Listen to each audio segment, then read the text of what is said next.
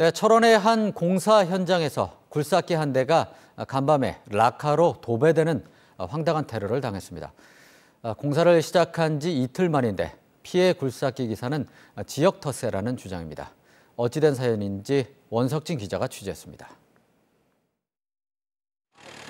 굴삭기 기사 유근양 씨는 지난 주말 공사 현장에 나갔다가 깜짝 놀랐습니다.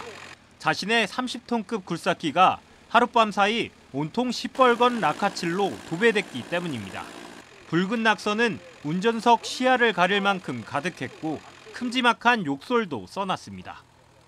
굴삭기 외부뿐만 아니라 내부 핵심 장비도 이렇게 구멍이 뚫리는 등 처참하게 파손됐습니다. 굴삭기 연료통에도 이물질을 넣어 부품을 전부 교체해야 할 지경입니다. 유 씨는 굴삭기 테러 이틀 전에 있었던 일이 의심스럽다고 주장합니다. 춘천에 사는 유 씨가 지난주 철원에서 중장비 일을 하자 철원 지역 건설기계 단체 임원이 찾아와 왜 타 지역 중장비가 신고도 없이 일을 하느냐며 텃세를 부렸다는 겁니다.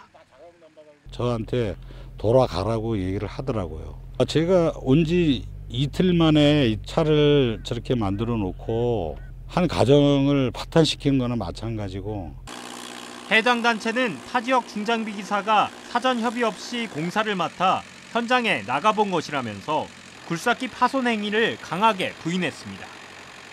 우리 장비가 너무 많이 지속적하게 일을 하겠습니다. 뭐 애들께 넘어오십시오. 이러면 저희가 스티커도 붙여드리고 그래요. 그 회장님이 뭐 갔다 와보라 그래가지고 명함 한장 드리고 왔거든요. 경찰은 파손된 굴삭기에서 지문을 채취하고 인근 CCTV를 분석하는 등 조만간 용의자를 특정할 계획이라고 밝혔습니다. 지원뉴스 원석진입니다.